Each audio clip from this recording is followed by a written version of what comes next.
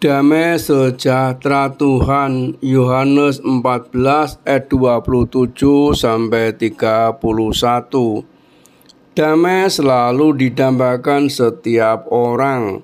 Banyak cara untuk memperolehnya.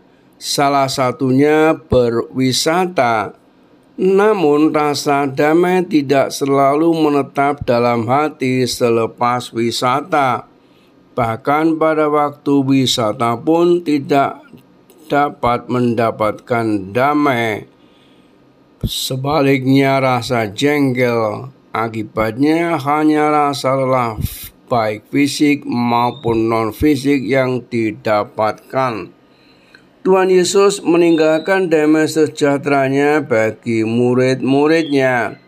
Damai sejahtera yang dimaksud bukan merupakan jaminan bahwa murid-muridnya tidak akan mengalami badai kehidupan, melainkan sebuah janji bahwa ada kuasa dan damai sejahtera untuk melalui badai itu.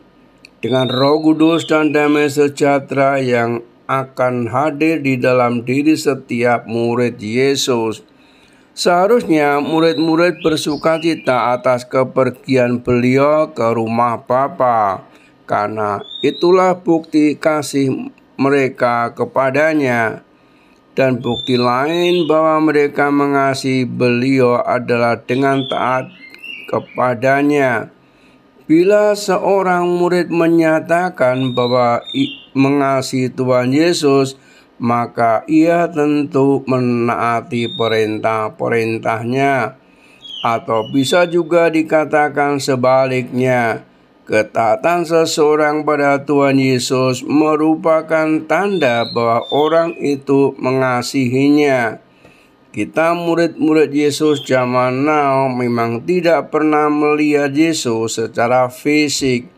Namun kehadiran roh kudus dan damai sejahtera yang melingkupi kita merupakan bukti bahwa suatu saat kelak kita akan bersama-sama Yesus di rumah Bapa. Sementara menantikan waktu tiba, marilah kita memperlihatkan kehadiran Kristus di dalam hidup dan ketaatan kita kepada firman-Nya Salam dan doa Sugeng Pramono